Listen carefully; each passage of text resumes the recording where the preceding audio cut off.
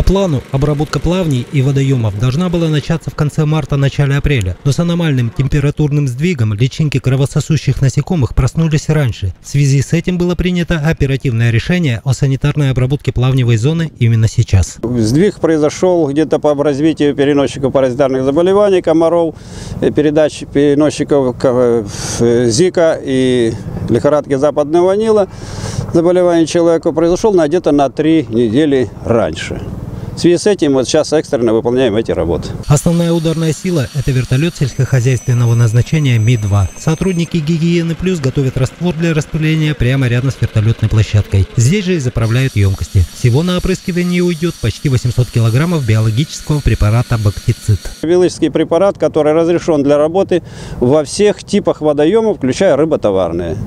Этот препарат не наносит окружающей среде э, отрицательного влияния вот, и не влияет на нецелевые гидробионты, находившиеся в водной, водной площади. Уже за первый день работы были обработаны анапские плавни в зоне Симферопольского шоссе, хутора Чембурка, станица Анапской и ряда других близлежащих районов. Всего планируется обработать 175 гектаров за три дня, включая удаленные сельские округа.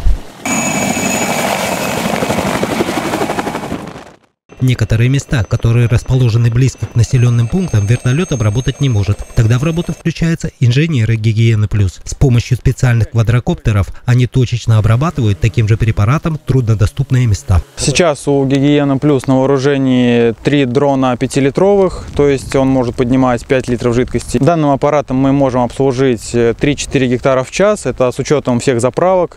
Вот, э, то есть в день мы можем обработать а, примерно до 10-15 гектар. Как рассказывают специалисты, препарат можно распылять в любую погоду. Его основное предназначение – уничтожение личинок насекомых именно в воде. Действовать препарат начинает уже через несколько часов. Остальное зависит от ветра и мастерства пилота, который, как показал сегодняшний день, мастер своего дела. Только за два часа съемки он сделал более 10 вылетов. В течение 7 месяцев планируется провести еще 8 подобных обработок. Как показал опыт прошлых лет, специалисты справляются со своей задачей успешно.